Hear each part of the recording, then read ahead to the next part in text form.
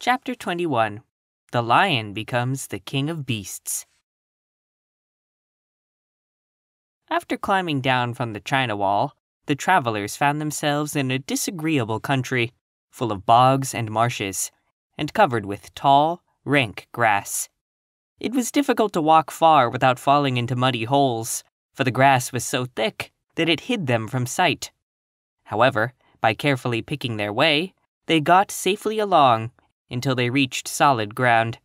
But here, the country seemed wilder than ever, and after a long and tiresome walk through the underbrush, they entered another forest where the trees were bigger and older than any they had ever seen. This forest is perfectly delightful, declared the lion, looking around him with joy. Never have I seen a more beautiful place.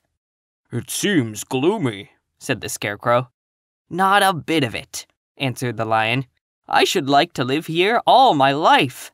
See how soft the dried leaves are under your feet, and how rich and green the moss is that clings to these old trees.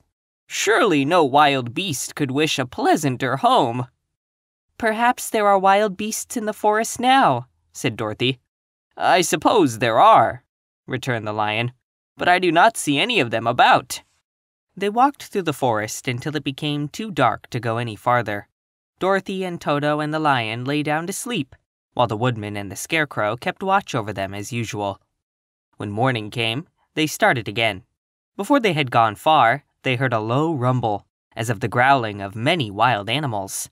Toto whimpered a little, but none of the others was frightened and they kept along the well trodden path until they came to an opening in the wood, in which were gathered hundreds of beasts of every variety. There were tigers and elephants and bears, and wolves and foxes, and all the others in the natural history, and for a moment Dorothy was afraid. But the lion explained that the animals were holding a meeting, and he judged by their snarling and growling that they were in great trouble.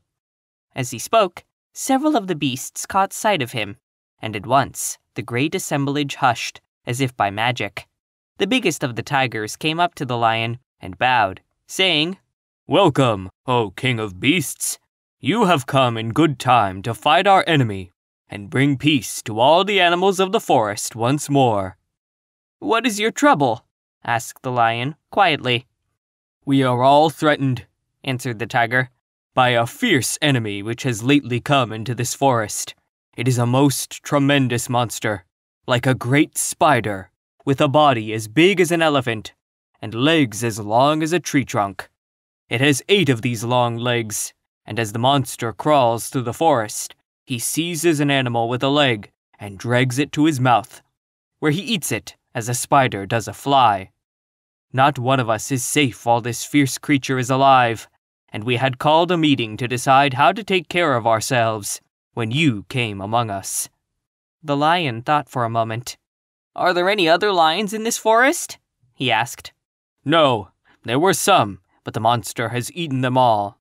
And besides, they were none of them nearly so large and brave as you. If I put an end to your enemy, will you bow down to me and obey me as king of the forest? inquired the lion. We will do that gladly, returned the tiger and all the other beasts roared with a mighty roar. We will! Where is this great spider of yours now? asked the lion. Yonder, among the oak trees, said the tiger, pointing with his forefoot. Take good care of these friends of mine, said the lion, and I will go at once to fight this monster.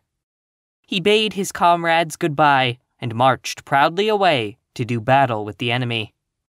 The great spider was lying asleep when the lion found him, and it looked so ugly that its foe turned up his nose in disgust. Its legs were quite as long as the tiger had said, and its body covered with coarse black hair. It had a great mouth, with a row of sharp teeth a foot long, but its head was joined to the pudgy body by a neck as slender as a wasp's waist. This gave the lion a hint of the best way to attack the creature, and as he knew it was easier to fight it asleep than awake, he gave a great spring and landed directly upon the monster's back.